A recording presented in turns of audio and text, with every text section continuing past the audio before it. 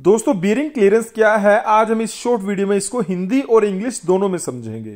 Bearing clearance bearing clearance is the play between the ball and raceway perpendicular to the bearing axis and parallel to the bearing axis यानी bearing clearance ball और inner race और outer race में जो play है, उसको हम bearing clearance बोलते हैं। जैसे कि आप इस पिक्चर में देख रहे हैं लेफ़्ट साइड में, जो यहाँ पे बॉल के ऊपर एक गैप आपको दिखाई दे रहा है तो ये है रेडियल इंटरनल क्लियरेंस और यहाँ पे अगर हम राइट साइड पिक्चर में देखेंगे